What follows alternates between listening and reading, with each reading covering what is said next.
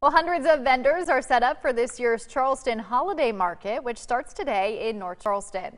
News 2's Lexi Moore joins us live from the North Charleston Coliseum Convention Center this morning. And Lexi, you are getting a sneak peek at all the exciting exhibits across the Coliseum. Good morning, Aaron. I definitely am here right now with Alex and Chris. Made a 12-hour drive from New York for Jane Parker Fruitcakes. I mean, that's a long truck to get here, so I know you guys are really excited. So kind of talk about your journey getting here. I know it's kind of a special one for you guys. Yes, well, thanks for having us on this morning.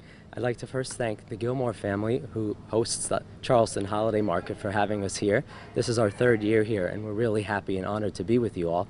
We're looking forward to seeing you all today at the show. So please come on, come on down and see us. Awesome. And to kind of talk about how you guys started up, I know it was 2014, something happened back in 2017. So talk about your journey. Yeah, well, the Jane Parker brand has a really unique history.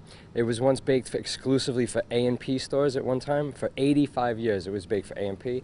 A&P went bankrupt in 2014. My brother and I, we bought the rights to the brand and all the original recipes of the beloved fruitcakes, and they're back in production again. That's awesome. why it's back here. So if you've been missing them, they're back here. They're at the show. I see fruitcake. I see all these different other cakes. So to kind of talk about maybe some fan favorites, I'm looking at the chocolate Merlot, and that always looks so good to me.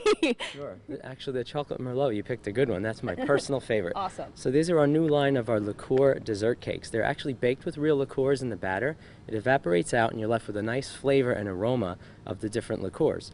So the chocolate Merlot, as you mentioned, has a really nice smell of Merlot wine in there. And I personally am not a Merlot fan, but when you mix it together with chocolate, it comes out really nice. It has a nice smell and aroma. It gives you that nice flavor of a Merlot.